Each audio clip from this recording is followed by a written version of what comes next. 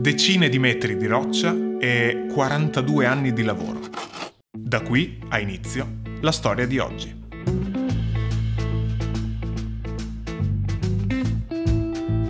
Questa volta la persona che incontreremo non vive isolato in qualche angolo del pianeta, ma in un paese di 4.000 abitanti in provincia di Sondrio.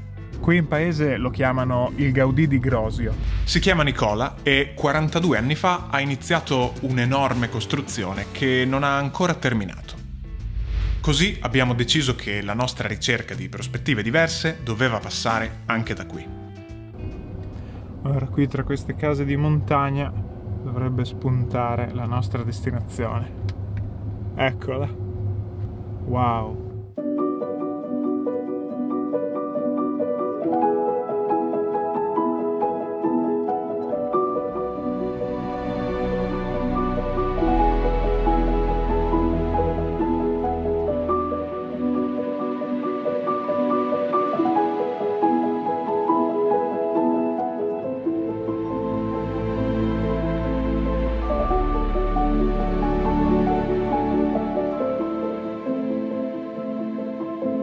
Incredibile.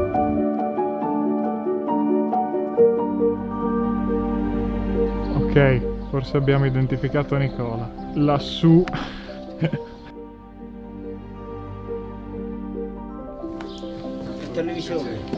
Nicola ci dà il benvenuto e siamo pronti ad affrontare insieme le lunghe scale alla scoperta di questo luogo.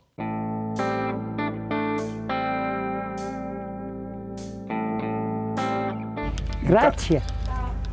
Se ti posso servire. Va bene. Grazie.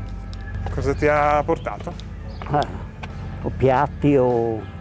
È una, una vicina? Non la conosco. si vede che hanno piatti da, da smaltire, allora me la portano qui. Nicola usa materiali di recupero per le sue decorazioni. Vasi rotti, bottiglie, specchi. Questo è uno di quei luoghi ricchissimi di dettagli, no? in cui si ha la consapevolezza di notarne soltanto una piccolissima parte. Qui ad esempio questo mantegno, che cos'era? La branda del letto. Perché hai deciso di utilizzare questo tipo di materiali? Più buon mercato. Hai già pensato a dove li metterai? No, viene tutto spontaneo. Spontaneo è stato anche lo sviluppo di quest'opera nei decenni, senza che Nicola avesse un'idea precisa in testa. Com'era qui, se ci devi descrivere una mattina del 1981, aprivi la, la finestra della tua casa, guardavi qua e cosa vedevi? Roccia. Ora le cose sono un po' cambiate. Scendevano un po' di sassi e invece di farlo fare all'impresa, mio marito ha iniziato da solo a fare questa, questo riparo e ha visto che le veniva bene, automaticamente è andato avanti. Siccome che non avevo un, un pezzo di terra per fare un, un po' di orto, ho cominciato a fare un muretto e dopo avanti sasso su sasso e sono arrivato in cima. E salendo abbiamo visto tante piante diverse, quali sono le piante più presenti che hai qua? Uva, cachi, prugne, noci, fichi, ciliegie. Prima di iniziare a decorare, Nicola impiega ben 30 anni per lavorare e scavare la roccia. Queste date da... che ogni tanto vediamo durante la scalinata? Cominciando dall'81 qui sono arrivato nell'85. Ok, quindi sei, sei, partito dal basso e piano sì. piano sei salito. Sì. Ok, ok, continuiamo a salire. 88. Mentre si sale le date scorrono, come un viaggio attraverso i vari decenni di lavoro. E mentre si è all'interno di questa scala verso il cielo non ci si rende conto di quanto questa sia effettivamente alta. No? L'unica più o meno prospettiva completa riesce a darcela il drone che ci permette di capire l'effettiva dimensione di questa, di questa creazione incredibile, decisamente più grande dell'abitazione in cui Nicola vive. Qui Nicola, quanto si paga il biglietto per visitare questo posto? Niente. Niente? Niente, niente. Perché deve pagare? Non l'ho fatto per scopo di lucro.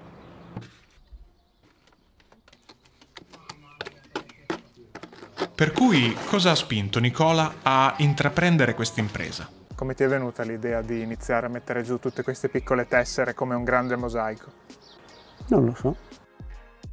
Nicola è un uomo di poche parole e per essere decifrato richiede un certo impegno, ma noi siamo qui per questo. Sono abruzzese. Ah, e come sei finito qua? Lavoravo dai Visconti Venosto, dalla marchesa che era qui. Ho trovato la, la fidanzatina, a 22 anni mi sono sposato e sono rimasto qui a Grosio. Parlando con Nicola stupisce questo suo modo di, di comunicare molto semplice, eh, all'osso, no? indispensabile. Dopo ho fatto la scuola alberghiera, eh, militare e ne ho fatta ancora, E poi? lavorato in Svizzera, 35 anni, Che lavoro facevi?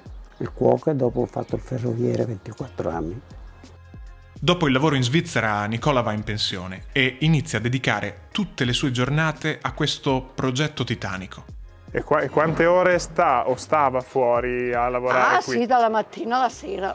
La moglie è contenta che la sera arrivi la sera stanco, non la tormento.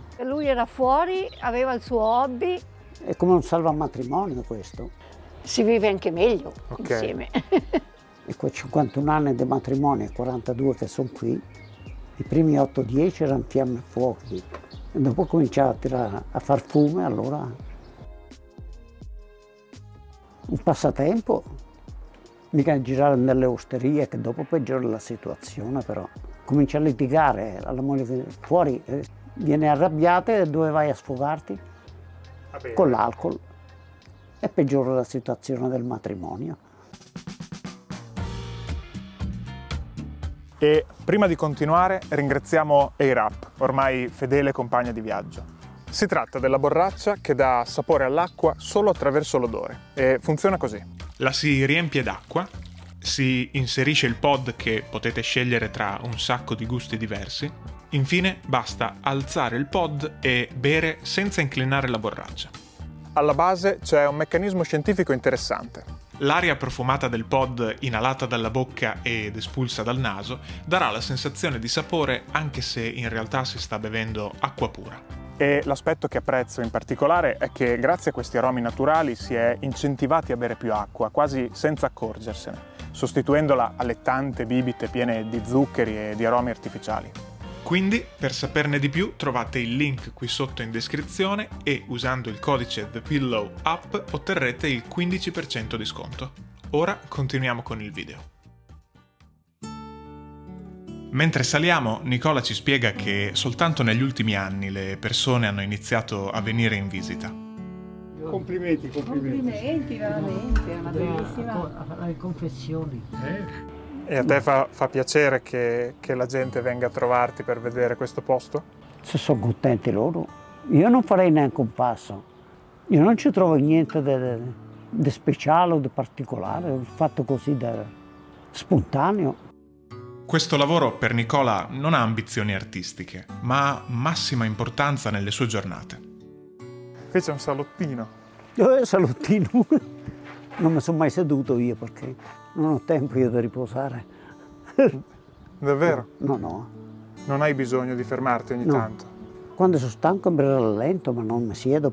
E dove trovi tutta questa energia? È una cosa normale, oh. Quelle che vanno a fare palestra per venire stanchi cosa fanno? E io la palestra è questa. Ad esempio, una tua giornata tipo come, come funziona adesso? 12 a dormire e 12 al lavoro. I telefoni dovrebbero essere tutti come questo, messo in spalla. I telefoni sono tra gli oggetti più ricorrenti, così gli chiedo qualcosa a riguardo.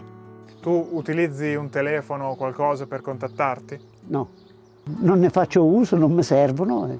Una volta quando telefonavano era sempre per qualcosa di grave, adesso parlano per niente. Invece di parlare scrivono. Non c'è più dialogo. Sono andato a Roma, da Milano a Roma, eravamo in quattro nello scompartimento. Ho sentito solo arrivederci tutto, tutto il tempo col, col telefonino a okay. tre ore e mezza senza parlare in quattro. Ti è sembrato ah, incredibile? Sì. La vita di Nicola scorre ad un ritmo lento, alternando la sua costruzione ad un'altra attività. Ed d'estate sono dietro all'agricoltura, ho la figlia che ha campi agricoli, allora comincia con le ciliegie, mirtilli,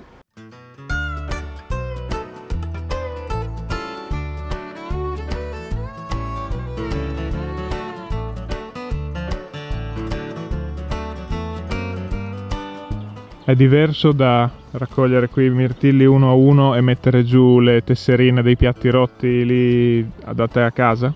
Passa tempo anche questo. L'importante è essere soddisfatti della giornata. Essere soddisfatti è migliore che avere soldi in banca o che dopo si viene scemoniti a pensare che fine faranno quei soldi ammucchiati.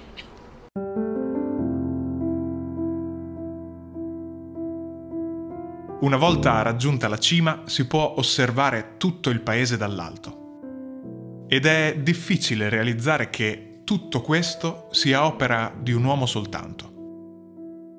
E questa dimensione tua solitaria, senza parlare al silenzio? Eh, ho la radiolina sempre. Ti sei mai sentito solo qui? No. C'è tutta la visuale, tutto aperto. Più bello di così. Libero.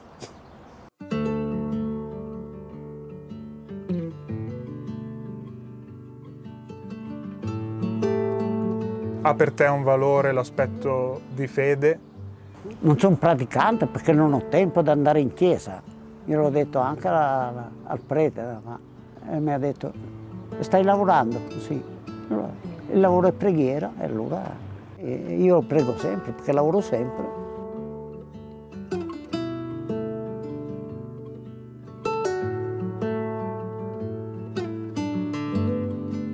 L'idea è che tu abbia avuto tanta pazienza. È la virtù dei forti. Se non hai pazienza, allora che vita hai?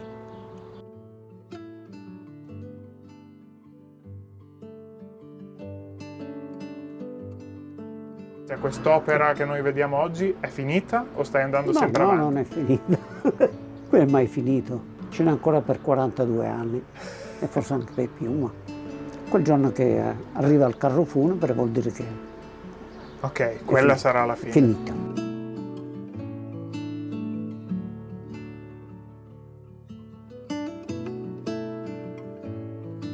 Quindi la potremmo mettere giù così. Per le altre persone non, non abbiamo capito bene perché vengono, tu non ci trovi niente di, di speciale. Però per te questo posto ha un valore. Mi trovo bene qui, sono abituato a stare tutti i giorni qui e... È il tuo modo di vivere? Sì.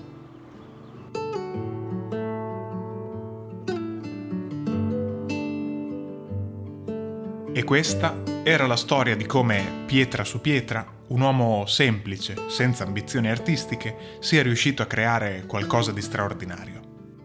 Quindi grazie a Nicola per averci accolto nel suo regno e grazie a voi per aver viaggiato con noi. Noi ci rivediamo al prossimo video.